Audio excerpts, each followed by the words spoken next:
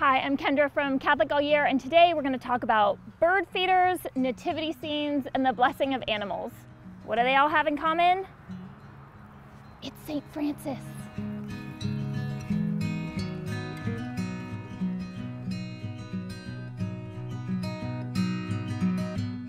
If you're walking through a Catholic neighborhood, what are you going to see?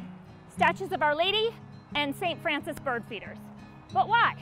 Well, it's because St. Francis of Assisi is one of the best known saints of all time to people and birds alike. St. Francis was born in Assisi, Italy in the 12th century to wealthy Catholic parents. As a young man, he spent time as a soldier and then decided to renounce the life of luxury he had had as a child in favor of a life of prayer, sacrifice, and service to the poor.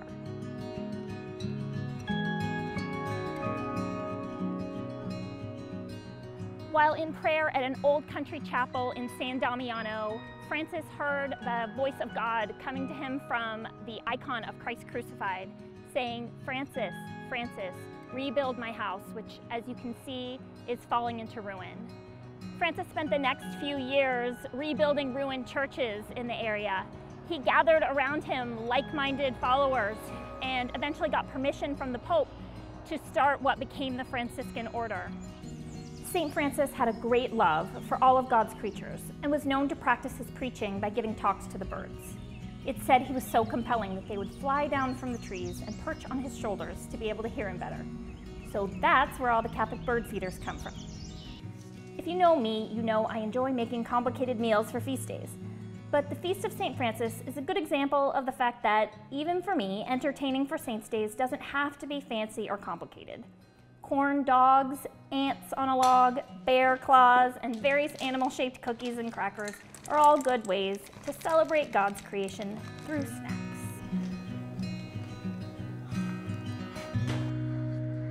So because of St. Francis's love for animals, there's a long history of doing a blessing of animals at parishes uh, in honor of the feast of St. Francis of Assisi. You can find the blessing, the text for the blessings in the Book of Blessings or the Catholic All Year Prayer Companion.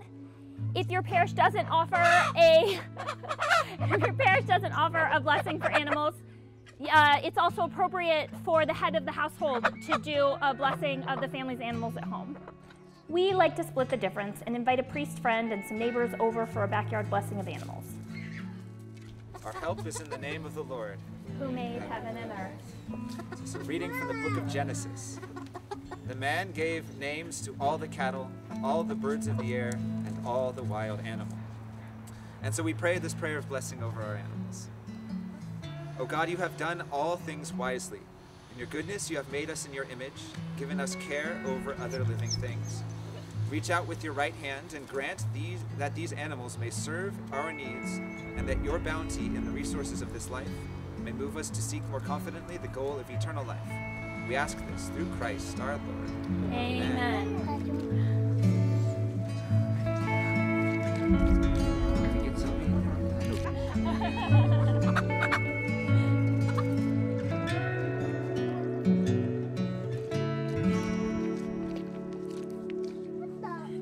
St. Francis wrote a beautiful song of prayer called the Canticle of the Sun, in which he praises God through all of God's creation.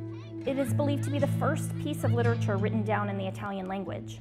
According to tradition, the first time it was sung in its entirety was by Francis and two of his original companions on Francis's deathbed. Praise God from whom all blessings flow. Praise him, all creatures here below.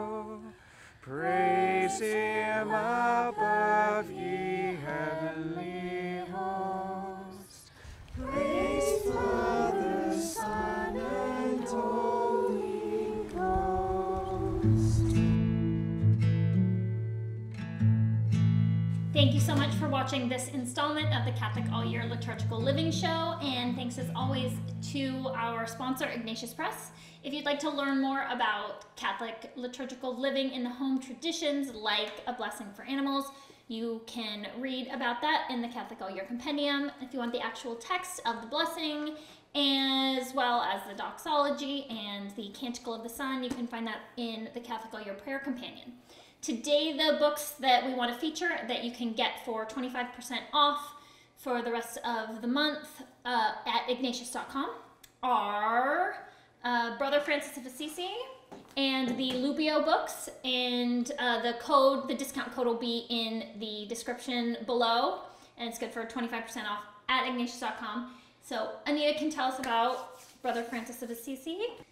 Uh, Brother Francis of Assisi is a classic book by Tomie DePaola back in print. And it's uh, a really complete story of St. Francis of Assisi and St. Clare. Um, it's good to read aloud to little kids or for middle kids to read themselves. And it's just a really fun book with great illustrations. And the Adventures of Loupio books. Frankie can tell you about those. Uh, this is a really cool book. It's uh, like comics, and I really like um, um it's about uh, a boy named Loupio, uh, which, and he's friends with the Wolf of Gubbio, and uh, Saint Francis is in it, and and uh, the sixth book is you can get it now. Great work.